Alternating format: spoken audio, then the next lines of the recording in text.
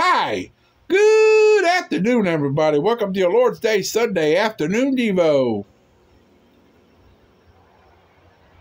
Part two of episode 1045.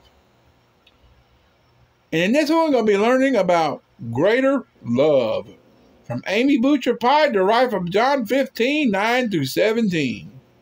So if you're excited about this one, hope you enjoy the video. Don't forget to leave a like. Remember the like challenge. Go back to the morning video for explanation. Um, remember the like challenge will be no, uh, canceled if it's not met by episode 1100 of the Daily Devo series. So.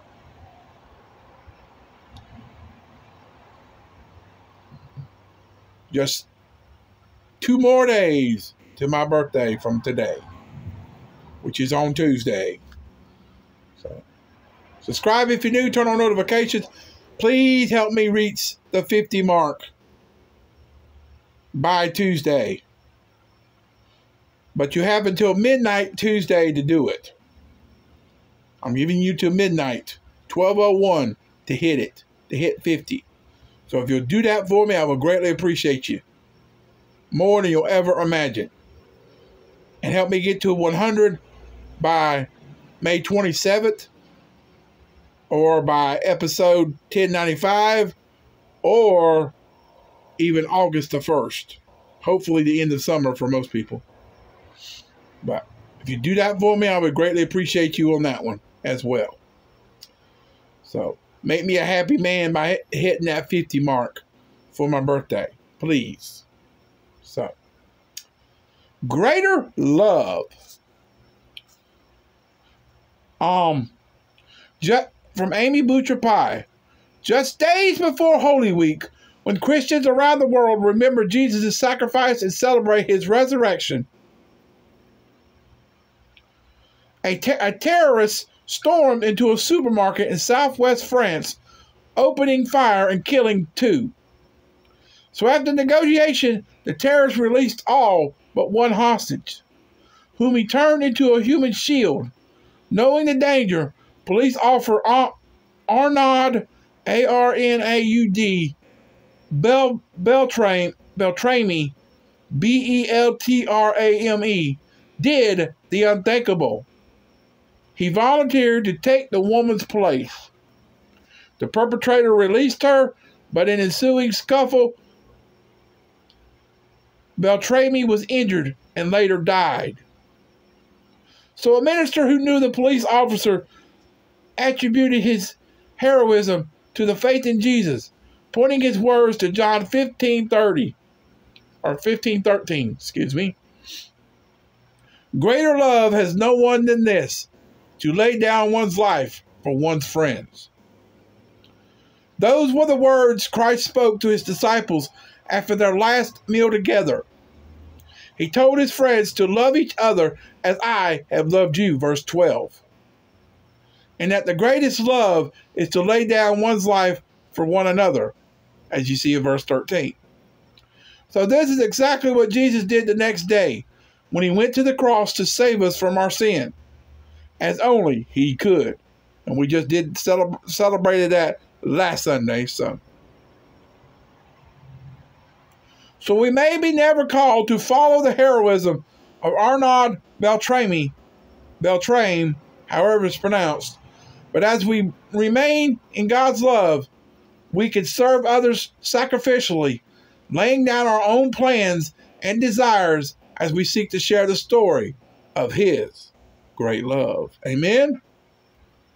I breezed right through that one. so, two questions. Make sure you uh, leave your responses in the comments by putting Q1 or Q2 or some response to these questions if you feel need to. But question one How do you react to stories such as that of Arnaud Bel- Beltrame, Beltrame, and how can you serve, number two, how can you serve someone sacrificially today? Doesn't have to be you, it could be someone else. It could be someone else's account that's helping you figure it out. But put those by putting Q1 and Q2 in the comments and the response. But ponder those questions by saying this Dear Jesus, you died to give me life everlasting.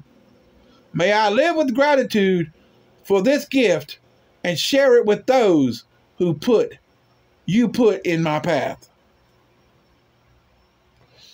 So, your uh, Bible reading for today is 1 Samuel 30 and 31, and then the rest of Luke 13.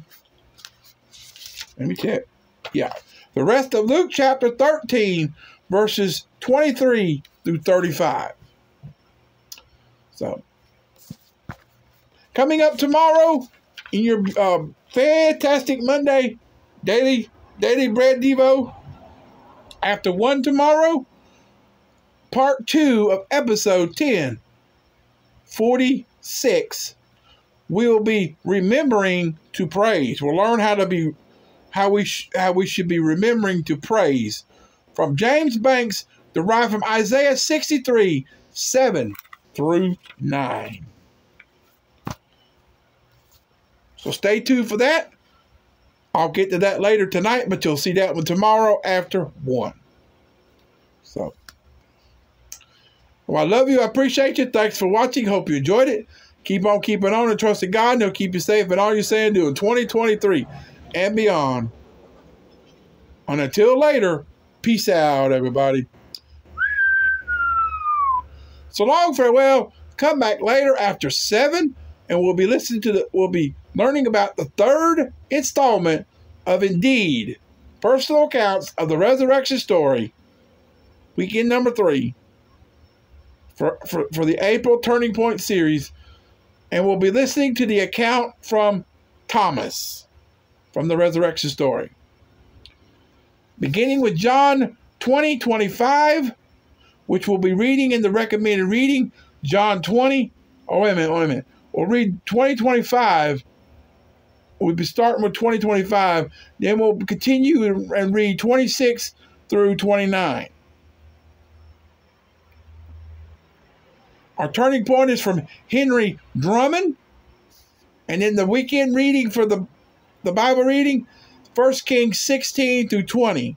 So, hope you read uh, the way to split it up, read 16, 17, and half of 18 yesterday or for Saturday, and then read the, the rest of 18, 19, and 20 today. So that was the way to do it. So hopefully you'll have it ha- have that first half done, and then read the rest of the half before tonight's video. So with that said, I love you. God, God bless everyone. God bless America in 2023, and I'll see you later.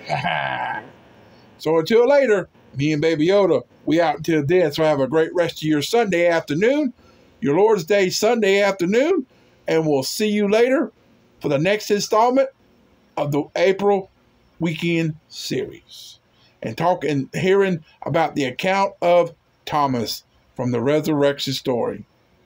Sounds like a good one, so so come back and find out what that's going to be about. hope you're enjoying the weekend series, the weekend turning point series.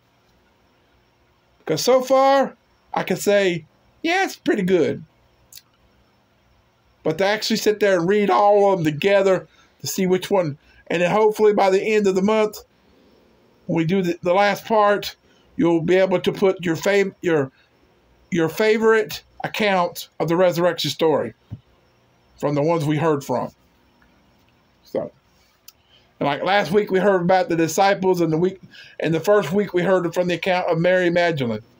So, that was a pretty good one for about Mary Magdalene, the first one. So, but stay tuned. I'll get to that in just a few minutes, but you'll see that later after seven. So I hope to see I hope to see you there. So until then, goodbye.